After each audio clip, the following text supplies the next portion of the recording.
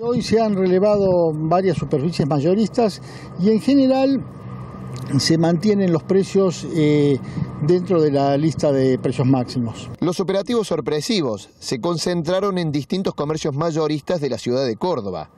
Desde la Dirección de Defensa del Consumidor afirman que en general se respeta la lista de precios máximos fijados por la Nación con algunas pequeñas variaciones. Los mayoristas se los ha visto por, en- por debajo de la lista de precios máximos. Por No debajo. hemos encontrado, no hemos encontrado irregularidades. Eh, es un poco coincidente con lo que ustedes traían, digamos, como para relevar. Sí, sí, sí, sí. Eh, ha habido en los días pasados, eh, hemos este, imputado anormalidades, aumentos excesivos en otros comercios, ¿no? en, en supermercados de cadenas medianas hemos encontrado, en almacenes hemos encontrado este, precios altos. ¿Podría decirse que se están modificando más los precios minoristas que los mayoristas? Aparentemente, aparentemente la tendencia podría decirse eso, sí, se- hemos visto eso. Bueno, los precios no están estables, o sea, no, es- no hay una gran variación. Ah, puede subir algunas cosas, dos o tres pesos, pero más de eso no, no he visto variación grande. ¿Lo has visto acá en este mayorista? ¿Andas por varios? No, siempre ando por varios lugares, tengo varios proveedores y no, no hay tanta diferencia de precios. Siempre se mantiene, trata de mantener un, un nivel. Si hay una variación es muy poquito. En el caso tuyo es comercio minorista, pero has visto que algunos comercios han modificado precios, ¿no? Sí, yo creo que sí. Eh, realmente yo personalmente no lo he verificado, pero sí por comentario de clientes. Sí, tengo negocio. ¿Almacén? Almacén y pollería.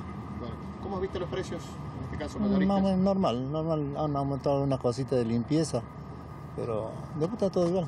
Y lo único que notas es limpieza. Sí, un poco, sí. ¿Porcentaje más o menos pudiste sacar? Eh, 10, 15 habrán aumentado. Y eso obviamente vos lo tenés que trasladar a los, a los precios de tu negocio. Sí, porque nosotros vivimos de esto. Entonces, algunos clientes nos referían que veían modificaciones, sobre todo en artículos de limpieza. ¿Ustedes lo han notado? Es, variado, hemos visto remarcaciones en alimentos, en artículos de limpieza, en frutas y verduras. Eh, eso, no hay una generalización de eso, varía según el comercio que uno visite. El control de precios también se extiende a los comercios del interior provincial. Además de los relevamientos propios desde la dirección, se firmaron convenios con municipios para que realicen la tarea.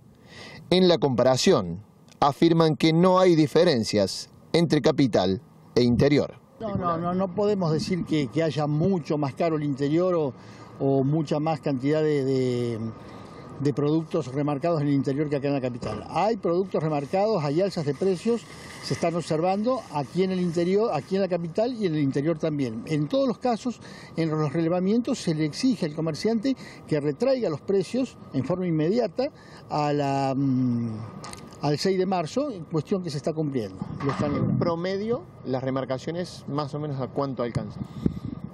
No, hay, hay productos que están escasamente aumentados, un 10%, un 20%, pero también hay algunos que han aumentado más del 50%, el caso de las frutas y verduras